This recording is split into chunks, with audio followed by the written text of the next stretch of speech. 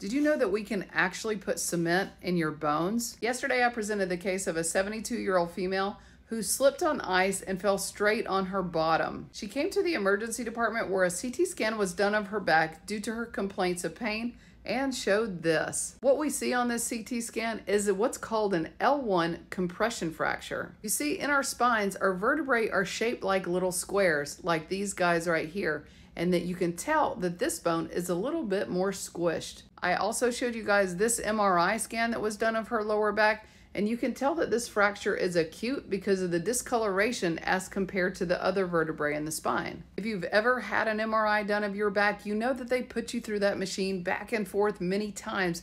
That's because they do different sequences of your spine. This particular sequence right here is called a STIR image, and that can show acuity of fractures. And here you can tell that this L1 fracture is acute. Sometimes on imaging, it's difficult to tell if a fracture is new or old, so this type of sequence on MRI will help us determine whether or not the fracture is new or old. I can actually tell on the CT scan that it's new because this fracture has a cleft inside of it. A cleft is a pocket of air that can happen within a fracture. And in this particular image, you can see the air within the fracture, which signifies a significant absence of bone. And in my experience, fractures that look like that hurt pretty bad. And the more concerning thing is that over time, because of that void of bone, it can continue to collapse and cause a kyphotic deformity. It can even progress to what's called a vertebrum planum, which is what this arrow is pointing to, and it's essentially like a linear place where the bone used to be. So let's talk a little bit about what a compression fracture is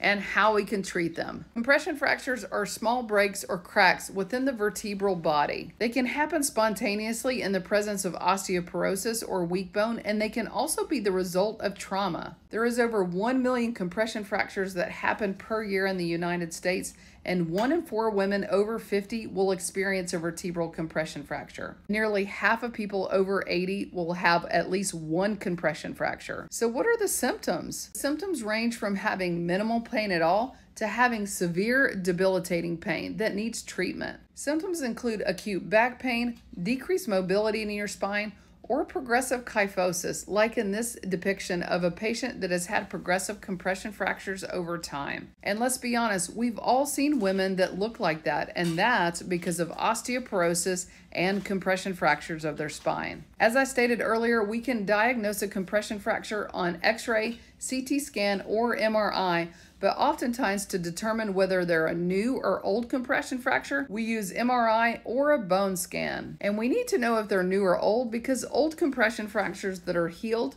don't typically cause pain and don't need treatment. So, what is the treatment? Oftentimes, minor compression fractures can be treated with conservative measures such as bracing and anti inflammatory medications to treat the pain. In patients with severe pain or fractures that look like the picture that I showed earlier, and which we know may continue to progress over time, we recommend a procedure called a kyphoplasty. A kyphoplasty is a minimally invasive procedure that can typically be done outpatient we place a needle into the vertebral compression fracture, inflate a balloon, which will create a cavity, and then we backfill that cavity with bone cement.